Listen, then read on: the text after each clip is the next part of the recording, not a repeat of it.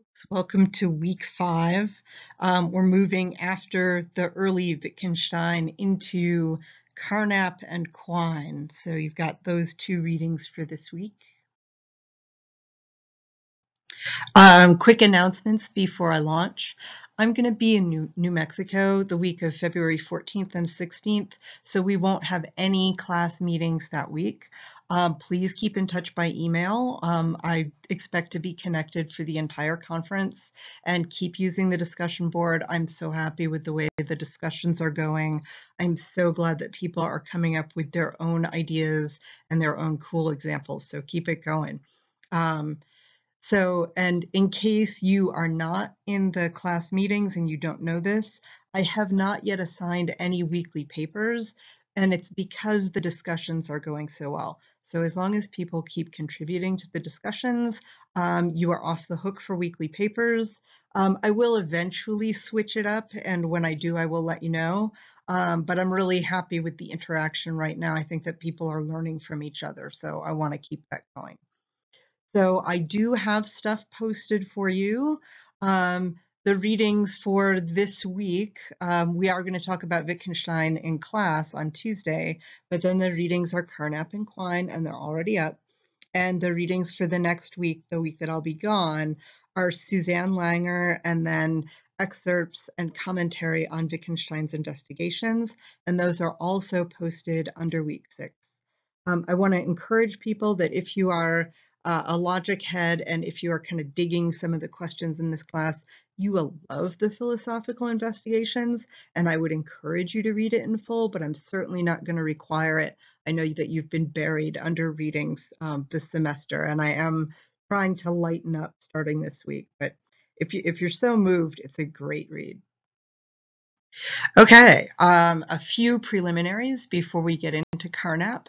Um, I, again, I will talk about this in class today on Tuesday, uh, the 7th um, but in case you can't make the class. So notice that there's a lot of terminology that Wittgenstein throws around in the Tractatus. And of course, I'm not going to cover it all, but some of the anchors that he uses are just, you know, some sentences are true and some sentences are false. And you've kind of confronted this already, what with Frege um, and the true and the false, and with Russell trying to analyze what makes certain claims true claims with definite descriptions and claims with indefinite descriptions, uh, what makes them true and what makes them false. So Wittgenstein is steeped in that tradition, and he's using true and false in the pretty conventional sense of correspondence to reality. At least in the Tractatus, Wittgenstein seems to be the arch correspondence theory of truth. Um, right? Language pictures the world because it absolutely maps onto what is out there. There are two other words, though, that he uses a lot. He uses the word senseless and he uses the word meaningless. And so uh, people do argue, scholars argue about what Wittgenstein means by senseless. So I want to give you a sense of the debate and a little bit of a, a core of the meaning of the word to hang on to as you do battle with this text. So of course, Frege's sense and reference um, right? The word senseless is going to have a history with Frege. Um, so these are expressions that have reference, but they don't have sense.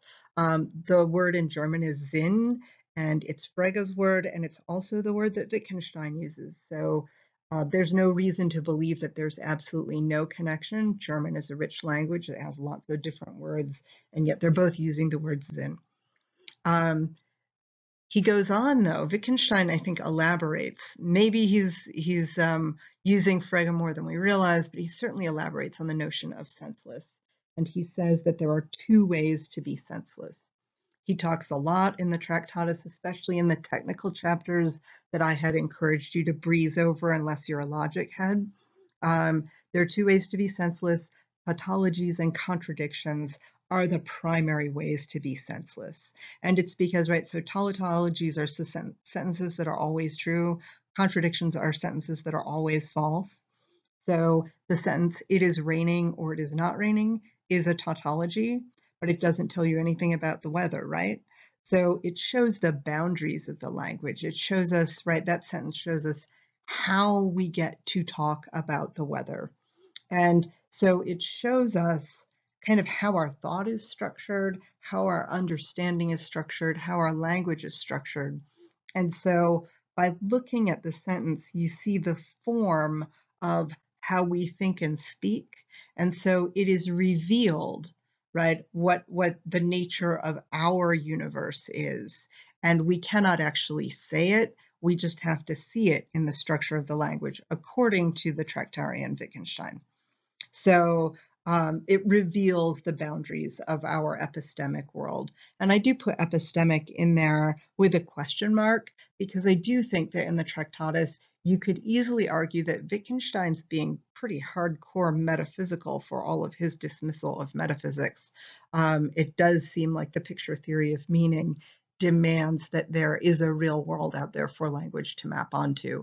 Um, again, I suggested last week that you go for the Kantian interpretation. I think that that's probably right.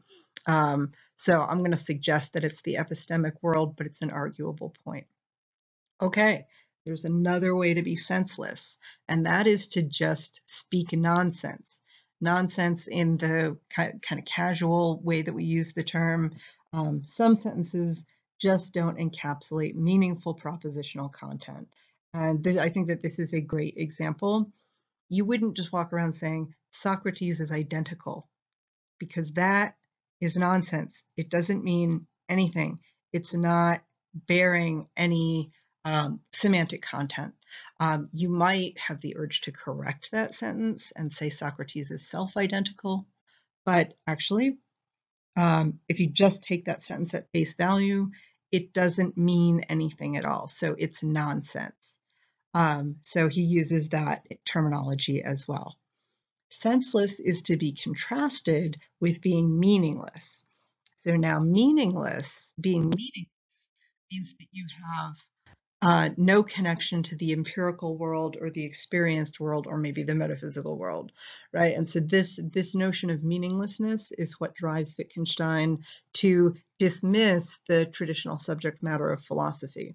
So metaphysical claims, right? Since they're beyond the physical, there's no connection with the empirical world. Claims about how we come to know the world have the actual world, the correspondence world packed into it and so those are also meaningless. Ethical claims are not empirically uh, corroborable or refutable, so they're meaningless, so on and so on and so on. So most of traditional philosophy is meaningless, including the Tractatus, which is why he throws away the book at the end. Um, philosophy at the end of the Tractatus becomes an activity useful for clarification. We use it to help us do science, and we use it to help us understand how we see the world. But philosophy has no meaningful subject matter and no content. Um, onward. Okay, so at the end of the Tractatus, right, it's it's a book that comes out, it's Wittgenstein's dissertation, and it has made an impact on the intellectual world. So in response to the system proposed in the Tractatus, uh, there forms the Vienna Circle. Um, three major players are Carnap, Schlick, and Neurath. Um, these are guys who are very interested in meaning. They're also interested in the unity of science. They're very interested in epistemology, even though we can't talk about it anymore. And so they come together and start meeting to try to solve these current problems in philosophy. And they do take philosophy to be a clarificatory activity. So we're not going to talk about metaphysics at all as we join the Vienna Circle. Um, or if we make a metaphysical claim, it's all very Kantian. It's all um, transcendentally ideal, even though it's empirically real. It's all about our understanding, our structure of understanding, and our structure of experience. Um, so at the end of the Tractatus, um, we have this group. Carnap writes this famous book called The Aufbau. Again, if you're a philosophy of language nerd, I highly recommend it. It's one of my favorite books in the entire world because uh, I'm a dork. So Aufbau means building, and what Carnap is trying to do is blast off from the Tractatus and give us a, a firm and very detailed structure as to how we build the world. And of course, it turns out that we build the world with language. So the Aufbau is all about constructing a meaningful linguistic system that will fulfill the promise of the Tractatus, give us this magnificent picture theory of meaning, make all of our scientific claims meaningful, and dismiss all of the claims that are not meaningful. I'm going to stop there, scroll through, and head into Carnap's philosophy in the next set.